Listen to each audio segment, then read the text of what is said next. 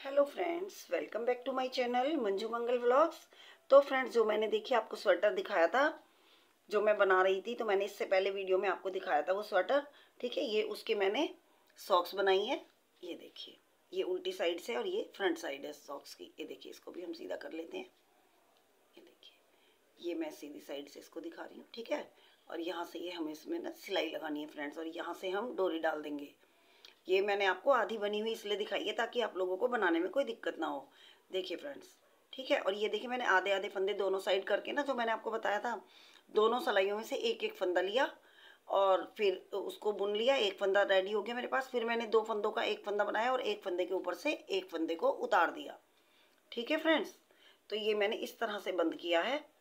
ठीक है? ये देखिए, आप देख सकते हैं। तो मेरे को इसलिए यहाँ सिलाई लगाने की ज़रूरत नहीं है। मैंने मतलब सिलाइयों से ही इसकी सिलाई कर दी है। ठीक है, मैं ऊन सिलाई वो सॉरी सुई से इसकी सिलाई करूँगी। ठीक है फ्रेंड्स तो उसमें मेरा ये वाला धागा ना, ये यूज़ हो जाएगा। ठीक है फ्रेंड्स ये देखिए। और यहाँ मैं डोरी डाल दूँगी। ये देखिए, मैंने डोरी डालने के लिए इसमें छेक भी बनाए हैं ये।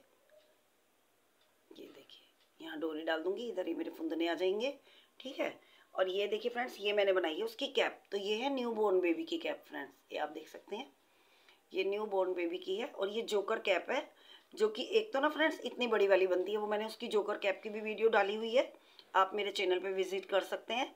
लेकिन ये मैंने जोकर कैप में थोड़ा सा शॉर्ट लिया है, क्योंकि ये न्यू बोर्न बेबी का है ना। तो देखिए, अगर हम बच्चे को ऐसे लिटाएँगे तो ये इस तरह मुड़ के ना नीचे आ जाएगा बेबी के सर के। तो ये नहीं आएगा, ये थोड़ा छोटा है, लेकिन जो मैंने वो वाली बनाई है ना, वो थोड़ी लंबी बनती है। तो देखिए, इसमें मैंने क्या किया है फ्रेंड्स इसमें मैंने इधर ना दो दो दो दो फंदे घटाए हैं। दो इस साइड से सिलाई स्टार्ट करी है तब और दो उधर से करी है तब। अब आइए अब मैं बताती हूँ इसमें। हमने डाले हैं फ्रेंड्स सत्तर फंदे, ठीक है?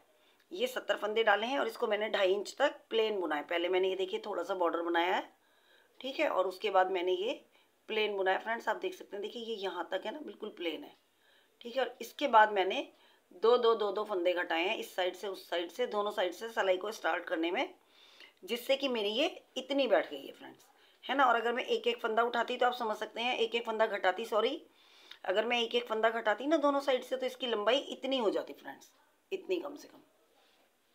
ये देखिए, इतनी बैठती।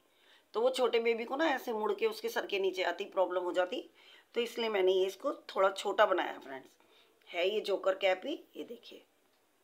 अब इस पर मैं यहाँ भी एक वो लगा दूँगी पॉम पॉम बना के, ठीक है फ्रेंड्स तो ये इस तरह से ये मेरा देखिए पूरा सूट तैयार हो जाएगा।